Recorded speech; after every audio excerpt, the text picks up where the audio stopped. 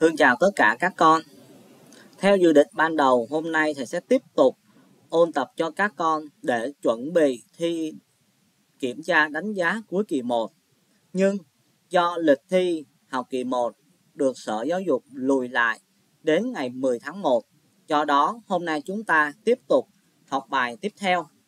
Ở bài 16, chúng ta đã tìm hiểu đó là gieo trồng cây nông nghiệp chúng ta đã biết được các phương pháp gieo trồng thì ngày hôm nay thầy và trò chúng ta cùng tìm hiểu với bài thực hành đó là xác định sức nảy mầm và tỷ lệ nảy mầm của hạt giống. Bài 18 này chúng ta sẽ cùng nhau tìm hiểu những phần như sau. Thứ nhất, vật liệu và dụng cụ cần thiết. Thứ hai là quy trình thực hành. Thứ ba là chúng ta thực hành và cuối cùng đánh giá kết quả thì hai cái phần 3 và phần 4 này có thể chúng ta thực hiện ở nhà, vì chúng ta học là trực tuyến. Rồi chúng ta tìm hiểu phần đầu cho thầy đó là vật liệu và dụng cụ cần thiết. Đầu tiên, chúng ta phải có hạt đậu hoặc là bắp, đĩa be chi. Đĩa be chi đi tụi con nhìn trên hình nè, đó. Hoặc là cái khay men, giấy thấm nước hoặc là, hay là giấy lọc, vải thô hoặc là vải bông. Rồi quy trình thực hành, chúng ta làm như sau tụi con hãy quan sát hình và nêu quy trình thực hành cho thầy. Rồi chúng ta thấy à, có gì đây? Có hạt giống nè. Rồi chọn và ngâm mẫu hạt giống trong nước lã. Rồi xếp giấy lọc trong đĩa thủy tinh và khay gỗ. Rồi xếp hạt vào đĩa xếp hạt vào khay gỗ. Rồi chúng con cùng nêu quy trình cho thầy. Thì quy trình của nó là gì? Đầu tiên bước 1 chọn từ lô hạt giống từ 30 đến 50 hạt. Bước 2, xếp 2 hoặc 3 tờ giấy thấm nước hoặc giấy lọc, vải thô hoặc bông vào khay. Bước 3, xếp hạt vào đĩa hoặc khay đảm bảo khoảng cách để mầm mọc không dính vào nhau, luôn giữ ẩm cho giấy. Bước 4, chúng ta sẽ tính sức nảy mầm và tỷ lệ nảy mầm của hạt. Đó, chúng ta có bốn bước như thế đó rồi hãy nhắc lại ha. Bước 1 là là cái gì nào? Đó là chọn từ lô hạt giống từ đâu? Từ 30 đến 50 hạt. Bước 2 xếp 2 hoặc 3 tờ giấy thấm nước hoặc giấy lọc, vải thô hoặc bông vào khay. Rồi bước 3 xếp hạt vào đĩa hoặc khay, đảm bảo khoảng cách để mầm mọc không dính vào nhau, luôn giữ ẩm cho giấy. Bước 4 tính suất nảy mầm và tỷ lệ nảy mầm của hạt. Rồi bây giờ chúng ta cùng tìm hiểu qua bước 4. Đó là tính suất nảy mầm và tỷ lệ nảy mầm của hạt. Khi chúng ta gieo rồi, nhờ độ ẩm thì hạt sẽ nảy mầm.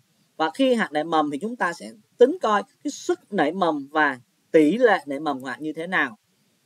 Thì đầu tiên, tụi con sẽ để đĩa hoặc khay đã xếp hạt ở nơi cố định để theo dõi hạt nảy mầm. Thứ hai, hạt được coi là nảy mầm khi có mầm nảy ra và dài bằng 1 phần 2 chiều dài hạt. Nhớ ha, khi có mầm nó nảy ra, nước nó nảy ra luôn và dài bằng 1 phần 2 chiều dài của hạt. Rồi sức nảy mầm và tỷ lệ nảy mầm của hạt giống được tính như sau. Tụi con coi, sức nảy mầm người ta gọi là S N, M là đếm số hạt nảy mầm sau thời gian từ 4 đến 5 ngày. Tức là sau 4 5 ngày tụi con sẽ đếm cái số hạt đã nảy mầm. Đó. Thì sức nảy mầm là gì? Tụi con sẽ đếm là bao nhiêu hạt nảy mầm. Chúng ta sẽ chia cho tổng số hạt chúng ta gieo và chúng ta nhân cho 100. Thầy nhắc lại ha, rất là dễ. Sức nảy mầm là tính theo tỷ lệ là phần trăm mình sẽ lấy số hạt đã nảy mầm mình chia cho tổng số hạt mình đã gieo và mình nhân cho 100 thì nó có được sức nảy mầm của hạt giống. Rồi còn tỷ lệ nảy mầm cũng là tỷ lệ phần trăm, đó là số hạt nảy mầm trên tổng số hạt đem gieo sau khi gieo từ 7 đến 14 ngày. Sức nảy mầm là sau từ 4 năm ngày nhưng tỷ lệ nảy mầm là người ta tính từ 7 đến 14 ngày. Chúng ta coi ha. Rồi thì chúng ta làm cái gì đây? Cũng như vậy tính y như là ở trên đó là số hạt nảy mầm chia cho tổng số hạt đem gieo và nhân cho 100 con hiểu không? Đầu tiên là sau 4, 4 đến 5 ngày thì mình để tính coi số hạt nảy mầm là bao nhiêu. Mình chia tổng số hạt trên gieo nhân cho 100 đó là từ 4 đến 5 ngày thì từ 7 đến 14 ngày người ta cũng làm công thức giống y như vậy. Nhưng mà có điều khác gì? Tại nhiều khi tụi con thấy sau 4 đến 5 ngày thì có nhiều hạt chưa nảy mầm, nhưng sau từ 7 đến 14 ngày thì có thêm một số hạt nảy mầm nữa, nên cái tỷ lệ nảy mầm nó khác rồi. Nên đầu tiên người ta chỉ gọi là sức nảy mầm, thứ hai là tỷ lệ nảy mầm. Hai ý nghĩa nó khác nhau, nhưng công thức nó lại giống nhau. Nhớ ha? Bởi vậy nên hạt giống tốt là hạt giống như là sức nảy mầm sấp xỉ tỷ lệ nảy mầm. Tức là hai con số này nè nó gần bằng nhau. Sao nghĩa là sao? Nó đều à, nó cùng nảy mầm đều. Bởi vậy nên người ta nói là cái lô hạt giống tốt thì cái sức nảy mầm nó sấp xỉ tỷ lệ nảy mầm. Nghĩa là cái sức nảy mầm mà tỷ lệ mầm này nó nó sấp xỉ nhau nó gần bằng nhau. Nó khoảng cách nhau không có nhiều. À, nhớ ha.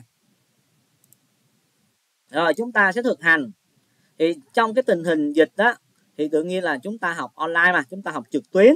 Do đó chúng ta sẽ làm à, tại nhà. Rồi đánh giá kết quả. Thì nhớ nè tụi con thấy chúng ta có 14 ngày thấy chưa? Rồi chúng ta thấy là ngày thứ nhất à, chúng ta theo cái bảng như thế này số hạt đem gieo rồi số hạt nảy mầm rồi tỷ lệ nảy mầm sức nảy mầm ta ghi chú. Ví dụ từ 4 đến 5 ngày chúng ta coi coi mình chúng ta tính chúng ta đếm ghi ở đây, số hạt ta gieo là bao nhiêu? Rồi, chúng ta từ 4 đến 5 ngày chúng ta coi coi bao nhiêu hạt nảy mầm. Và chúng ta tính coi sức nảy mầm như thế nào. Rồi, từ 7 đến 14 ngày chúng ta coi coi bao nhiêu hạt nảy mầm tiếp theo chúng ta ghi ra. Lúc này chúng ta tính vào tỷ lệ nảy mầm. Nếu giữa tỷ lệ nảy mầm và sức nảy mầm tương đương nhau, thì mình có thể kết luận ghi chú đó là hạt giống tốt. Nhớ nha tụi con rồi đây là bài thực hành cho đó là tụi con uh, coi kỹ ha. Rồi chúng ta uh, làm ở nhà.